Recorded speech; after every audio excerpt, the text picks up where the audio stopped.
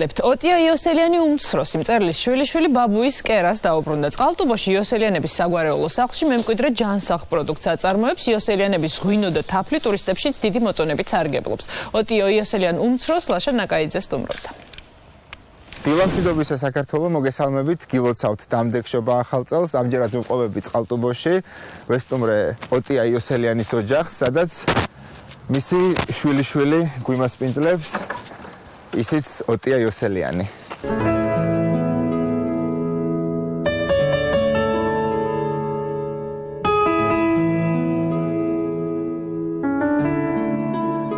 მოვეგოთ ქაფანა განჭირულია დასაყუპავად თუ აპირებ გადარჩენას ეს უნდა იყოს წმენა წმენა გეუბნება რომ კეთილებას დილობას არა იბარო არა გოცილწამო არა კაცკლა. დედაენას უნედოს საფთო ჯური გვერდზე იქით სამოდეს ძალიან ბევრს ფიქრობთ ხოლმე იმაზე რაც ახლა აქ ამ სახში ხდება თუ მოეწონებოდა და რაც გვეთყოდა და სხვადასხვანაირი აზრები ამასთან დაკავშირებით ოჯახში. გონი რომ თანდუკმა ყოფილა არ უნდა დარჩენილიყო.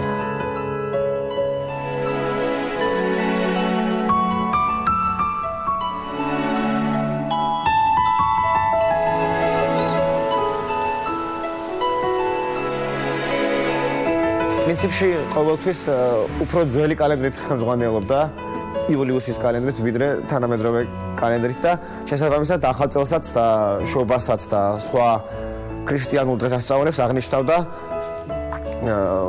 ისე როგორც ცადრე იყო ეს 7 იანვარს შობა და 14 იანვარს სახალი წელი კალანდობა იგივე. გამოცდებზე ძალიან მაღალი ნიშნები მიიღო ერთადერთი ქართულ საგანში მიიღო ორიანი. და ამის გამო ვერ ჩააბარა სამხატვრო აკადემიაში და იმის მერე ნახევრად ხუმრობით ამობდა ყოველთვის რომ მთელი ცხოვრება ვცდილობდიო დამემტკიცებინა რომ ქართული თუნდაც სამიანზე მაინც ვიცოდიო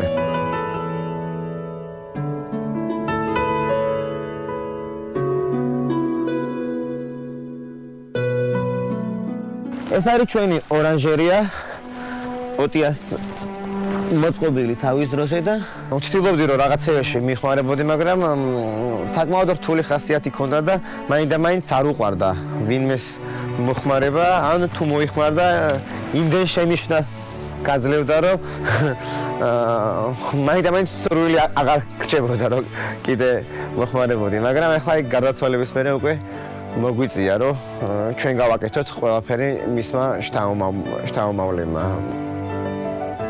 თავიდან ძალიან რთული იყო აკაური სიჩუმის შეგუება. აქ ამ სახლ ეს სახლი ისეთ ტერიტორიაზეა რომ მეზობელი წარკავს გარშემო ტყე არის თრიანად და თავიდან მიჭირდა და ეხლა ისე შევეჩვიე რომ პირიქით თბილისში ბიჭის. ჩავთვალე რომ ჩემით უნდა დამეწყო თბილისის განპირთვა. იმიტომ რომ მართლაცოდო ეს ქალაქი ამდენი ხალხისთვის თავიდან იყო თეთრი ღვინო. მე რე გადავედით არაღზე, მე რე შევამატეთ წითელი ღვინო, ვარდისფერი ღვინო, ლობიო, თაფლი დიდი ხანია გვაქვს სახში. ისეთი შვიდი გარემო არის, რომ ფიქრობ ამაზე იდეალურ გარემოს ვერც მოვნახავდი. სამუშაოდ.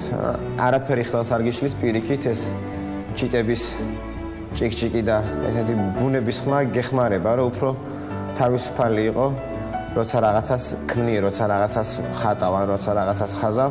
6 წელი ვსწავლობდი არქიტექტურის ფაკულტეტზე და ჩემი ძირითადი საქმიანობა ეს არის ზუსტად.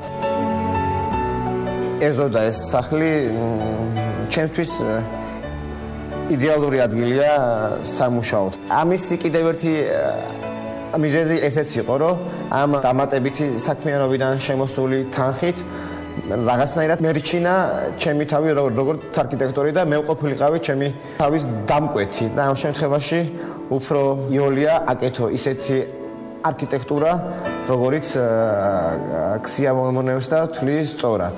ცოტა მეხამუშება ამაზე საუბარი მაგრამ ნუ შრომა რო აუცილებელია ეს ფაქტია. რამდენად კარგი მშობელი ვარ ეს სქემაში აფასონდა. ისე შრომა რო საჭიროა მე მგონი ყველანი თანხდებით ამაზე.